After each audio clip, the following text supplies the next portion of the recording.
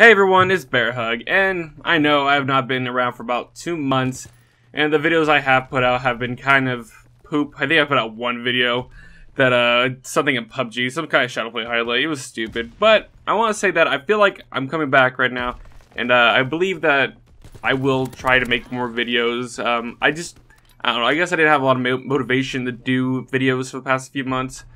And uh, but lately I've been having a lot of fun, and I've got this I guess resurgence of energy to do YouTube and to edit videos. I guess this one is not that hard to edit, but I want to do live commentaries, but mostly I want to have I guess this live gameplays of me with my friends. Obviously, kind of edit it a little bit to make it more funny because you can't just watch a gameplay anymore. It has to be funny. It has there has to be something in the background.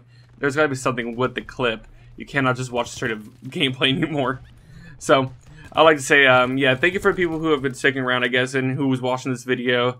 Uh, I know it's been a long time. I know you're probably trying to figure out who the fuck I am in your sub feed. I might lose a couple subscribers after this, but it's fine. Um, I just want to rebuild my channel, maybe, I guess, redo some things, but uh, yeah, I want to keep YouTube going. I tried doing some live streaming, that didn't work, really work out too well. I just, I don't know. There's too much shit going in my life for that. But I believe that I can just record edit and upload, that'd be the greatest possibility for me. So I hope you guys stick around for the long run, and uh, you guys have a great day. This is Bear Hug, and I'm out.